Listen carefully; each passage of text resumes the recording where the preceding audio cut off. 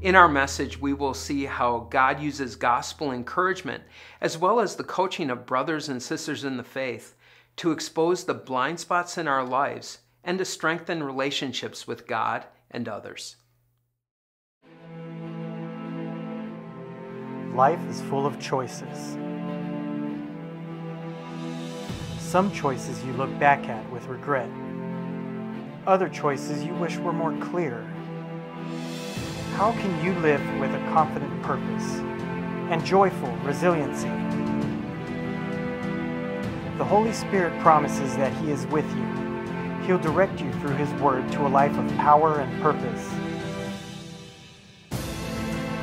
See how you can enjoy direction in your life from the one who forgives your past, directs your present, and holds your future. Lord is my shepherd, I lack nothing. He makes me lie down in green pastures. He leads me beside quiet waters. He refreshes my soul. He guides me along the right paths for his name's sake.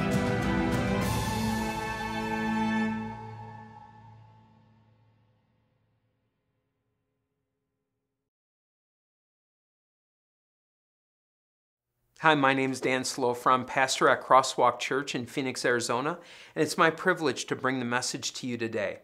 We are in a message series called Directed, and today uh, the message is directed to be coachable. I don't know if you happened to, to listen to our previous week message, but one of the things I referenced was that someone talked to me and asked me a question I, I found very interesting.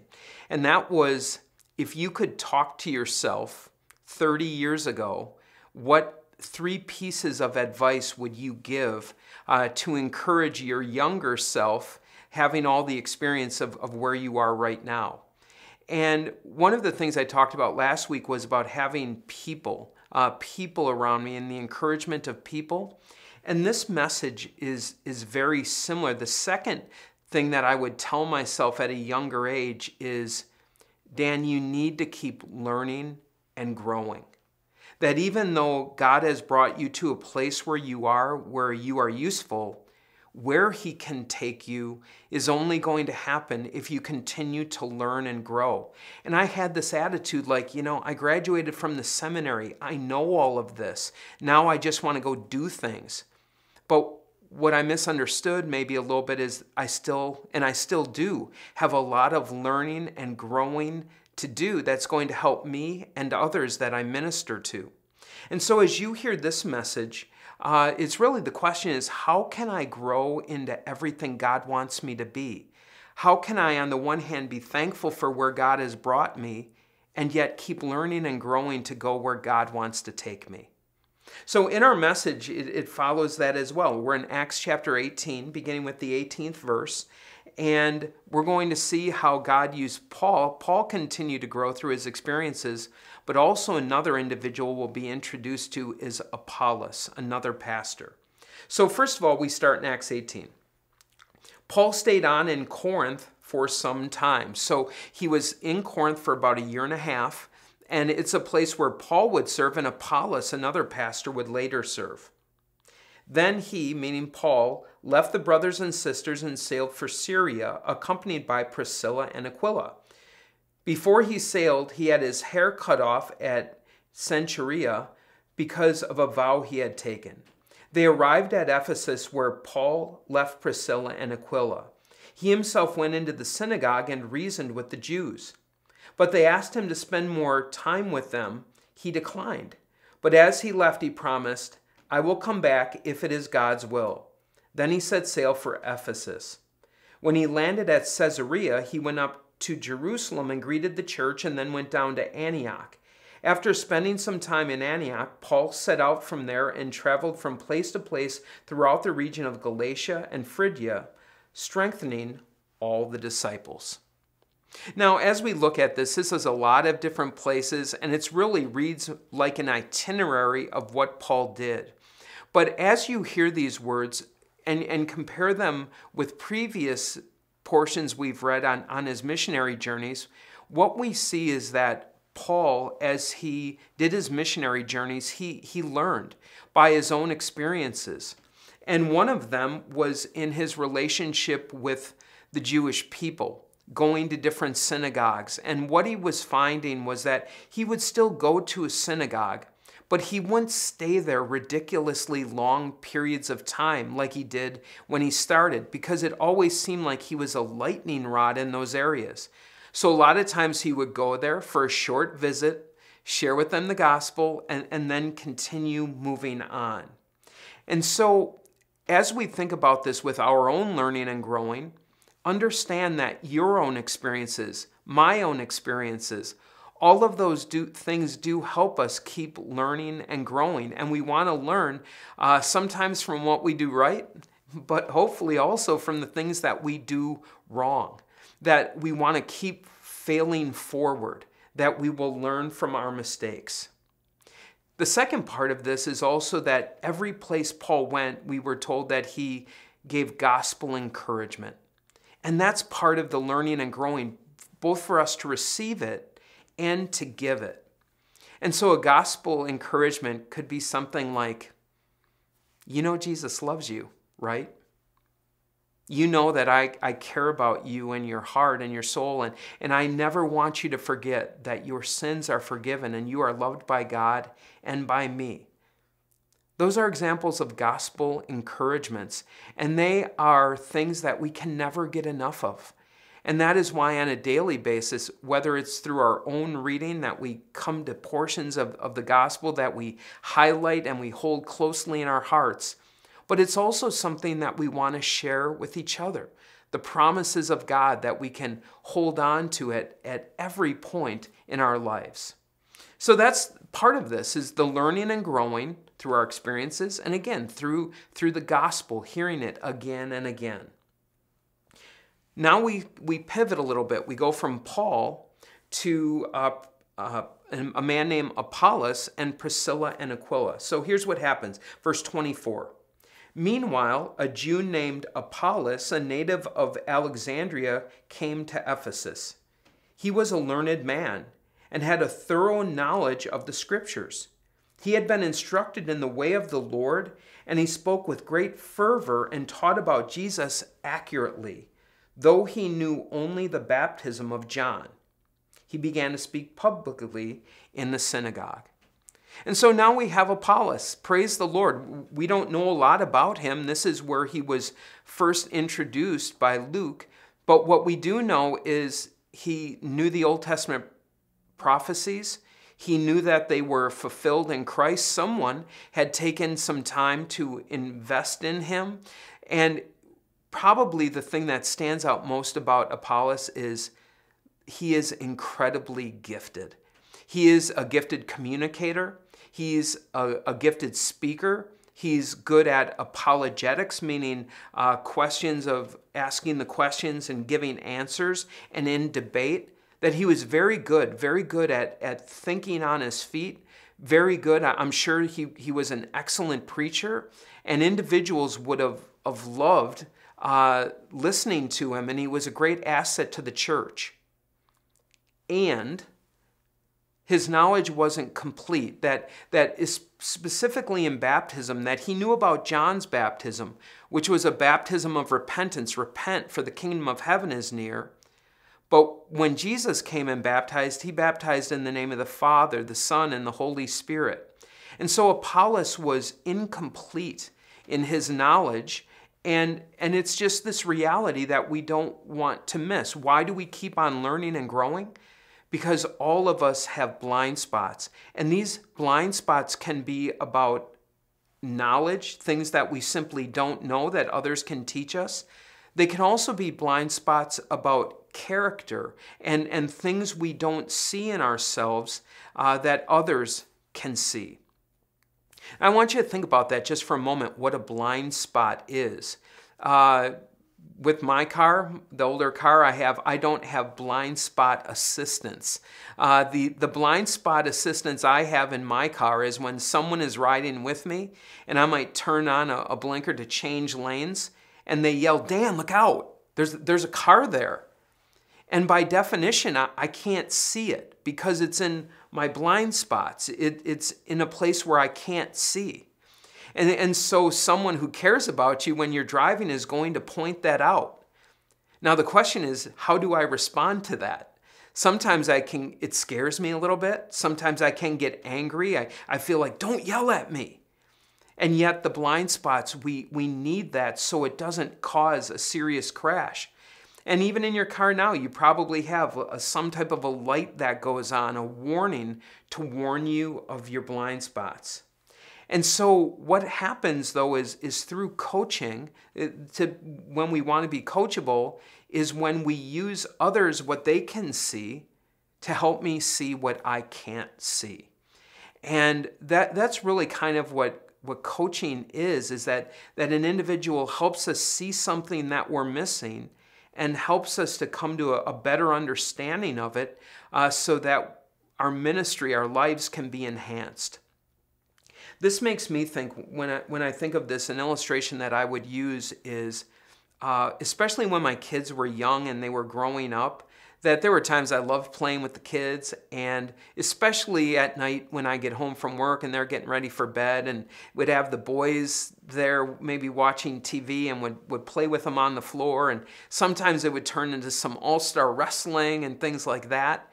And there were times when Tanya would say, Dan, stop. You're hurting them. That, that you don't realize how much you're, you're pressing on them or you don't realize that they're they're still small and and, and you're hurting them. And times like that again I, I, sometimes would get defensive but the reality of it was is yeah sometimes i didn't realize exactly how much i was hurting them. And and it's that way still too in my life that i, I have blind spots and people need to remind me that my words, that my actions are, are taken in ways that maybe I just don't see. How about you? Can you see that, that, that need for being coached in your life? Maybe pointing out areas of, of, of sin, areas where uh, maybe you don't even see it, but it's causing hurt and harm in, in relationships. It is a true friend a, a true brother and sister in Christ who can help us to see these and then to help us change. And that's the next part. And, and that's okay. So, so Apollos had a misunderstanding of baptism. So what happened? Priscilla and Aquila coached him. Uh, it says, verse 26b, when Priscilla and Aquila heard him, they invited him to their home and explained to him the way of God more adequately. I love this that that they didn't necessarily deal with this right in that moment in front of everyone else, but what they did is is they invited him to their home. Hey, let, let's have dinner. Let's talk about this. Let's uh, see that I have your best interest in mind, that I love you, that I care about you. And what we can do then is help you see some of these gaps that you have. And so the first part of this, as, as we look at coaching, is that you need to be humble enough to receive it. That, that, that there's a humility that each one of us needs to have to say, I don't have all the answers, and there's room that I need to learn and grow and, and to see my blind spots. But the second part of the humility of coaching is in how you share it with someone. That you also do that humbly, understanding that it's by the grace of God that I'm able to see what I can see and I want to share that with you because I love you. Now, as we look at this, all of us, no exceptions, all of us are at a point in our lives where we can give coaching, that there are things that we've learned from our experiences from God's Word that we can share with someone. But we're also in a situation, all of us, including me, where you still need to receive that coaching. And so there's always this give and take that, that takes humility. That's not about me being smart. It's not about you. It's not about that. But rather, it's about keeping learning and growing. And I maybe here also want to, to stress is that there's a difference between coaching, helping someone to see maybe an area where they can grow and helping them grow, and simply being a critic just criticizing, just pointing out someone's mistake. I don't like this and I don't like that, and you do this and you do that. That is not coaching. And, and it's really not what God is calling us to do either. But rather, it's this helping someone to see something and then helping them to see the next steps where they can, can take the steps we need to take to continue to learn and grow. Apollos went on from there. He, he benefited from their coaching. And then the next thing that happens is Acts 18, uh, 27 and 28. When Apollos wanted to go to Achaia, the brothers and sisters encouraged him and wrote to the disciples there to welcome him. When he arrived, he was a great help to those who by grace had believed, for he vigorously refuted his Jewish opponents in public debate proving from the scriptures that Jesus was the Messiah. I love this, it, it, that as you see Apollos and his willingness to learn and grow made him even more effective as a servant in God's kingdom. And specifically here, he wanted to go to a different place. He wanted to help other individuals out. And how did he do that? Again, he, he did it by refuting the Jewish opponents and, and proving from the scriptures that Jesus was the Messiah. He had incredible gifts for speaking. He had great gifts for debate, and, and especially with the Jews, because of his knowledge of the Old Testament and his experience there, he was able to help them see and use uh, Scripture, use the Bible to help them see as well. And when you think about that as why you want to learn and grow, why each and every one of us wants to, is because it's not only a blessing to us, but when leaders continue to be coached, when leaders continue to learn and grow, everyone benefits.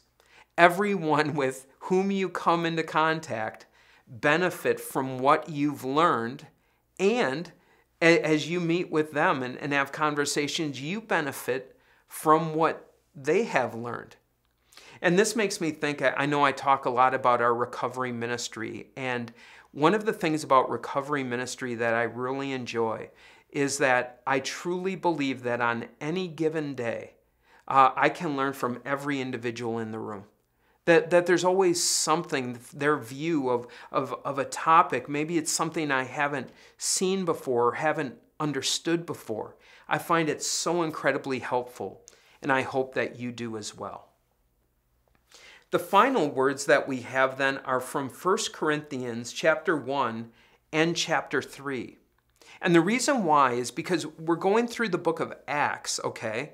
And so it's talking about Paul being in Corinth. Apollos is, is going to be in Corinth as well. But now what, what's happened is in the book of First Corinthians, we're going to see that there were issues in the church where they needed some coaching uh, that, that the church did, and Apollos is part of this as well. And so in 1 Corinthians 1 11 and 12, it says this My brothers and sisters, some from Chloe's household have informed me that there are quarrels among you.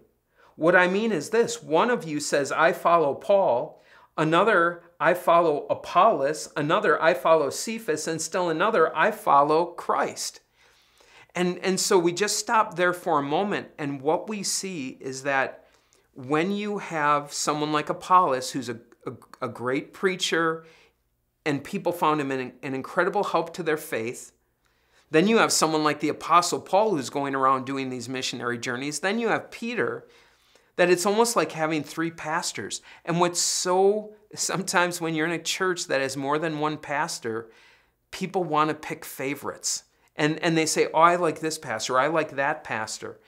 And, and Paul, and thank God, Apollos and Peter said, you know what? None of that. No. That is not the kind of, of quarrels we are going to have in this church. And in order for that to happen, Apollos needed to be coachable, so did Paul, but so did the people. And then later in chapter 3, uh, I think Paul does a great job of summarizing it when he says, I planted the seed of God's word, Apollos watered it, but God has been making it grow.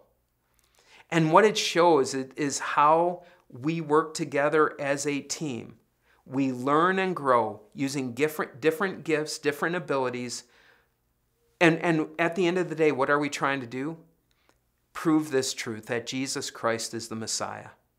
That through Christ's death and resurrection, your sins are forgiven. That you are loved by God. And, and it's this truth that we continue to build on, we continue to grow on. And, and so his ability, Apollos' ability, but more than that, his ability to be coached. What that did was help him to unite and to grow the church. And as you look now at, at, of where you go from here today, I would like to give you the encouragement that I would have given to me 30 years ago. And that was, for me, it was Dan, I know you just graduated from the seminary, and I know you've gone through a lot of school, but you still have a lot to learn. And for that reason, keep on learning and growing. Learn and grow from your church, learn and grow from other pastors, learn and grow from other books that you read learn and grow in areas where, that have nothing to do about the Bible necessarily by people who have ability that, that you don't and an understanding that you don't. Because God uses all of that for His church and, and to further the gospel of Jesus Christ. So that's what I tell you today. Sometimes what can happen in churches is, is that when a person goes through maybe something like a confirmation or, or something like that, where they say, you know what, I've learned enough. I know the basics of the Bible. Please don't get caught in that trap. Please don't get caught in a trap of complacency that you know enough right now, but rather continue to learn and grow, and then watch how God uses you in His church. Let's pray. Dear Lord God, we thank you uh, for all the gifts that you have given in your church and all the different people who have, have so many different things. You, you say it's like a part of a body, and that is so true. All of us with those unique gifts. And so, Lord, what we pray today is that you would increase in each one of us a hunger, a hunger to continue to learn and grow. And then, Lord, develop us, uh, use other people in our lives uh, so that we can be effective servants for your kingdom. And it's in Jesus' name we pray. Amen. And now may the Lord bless you and keep you. The Lord make his face shine on you and be gracious to you. The Lord look on you with favor and give you his peace.